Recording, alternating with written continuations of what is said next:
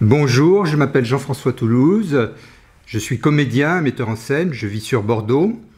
Euh, je participe au projet Oudoud Frontières, euh, que j'ai découvert peu de temps euh, en fait avant cette phase ici à Bordeaux.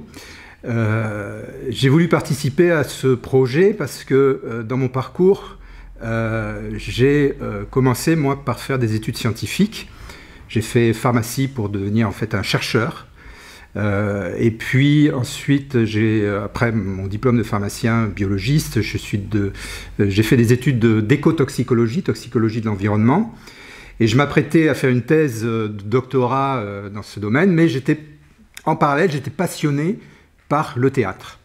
Euh, mais j'avais jamais osé passer le pas. Je commençais à faire du théâtre en amateur. J'étais passionné et j'ai eu envie tout d'un coup de bifurquer parce que j'ai vu ma vie euh, qui était entre soit faire une carrière euh, scientifique, soit euh, essayer de faire une carrière artistique, plutôt le, métier de, comédien, plutôt qu'une carrière.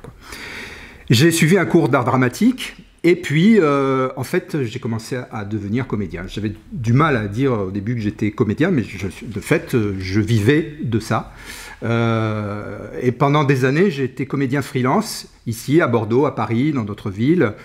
Euh, sur différents projets où j'étais juste euh, au service d'un texte avec une mise en scène. Et à un moment donné, quand même, euh, est revenu dans, dans ma tête et ma passion pour la science, la recherche. Et je me suis dit, tiens, ça serait intéressant de mêler les deux.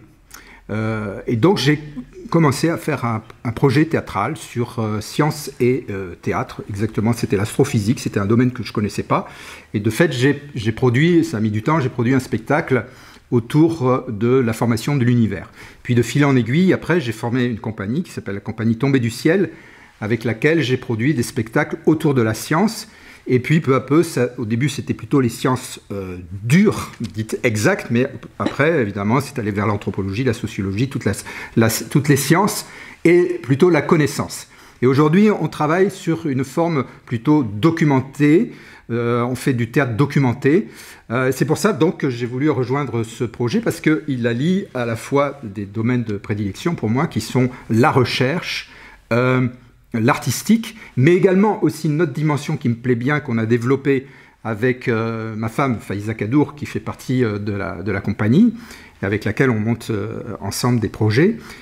c'est sur cette dimension nord-sud. En fait, nord-sud, c'est géographique, mais disons toutes les rives de la Méditerranée. C'est-à-dire trouver un lien interculturel entre toutes les, euh, populations euh, autour du bassin méditerranéen. On a déjà mené des projets euh, dans cette direction. Donc là, voilà, pour moi, c'est du pain béni parce que j'ai à la fois l'art, la science, la recherche, et puis aussi cette dimension géographique et culturelle.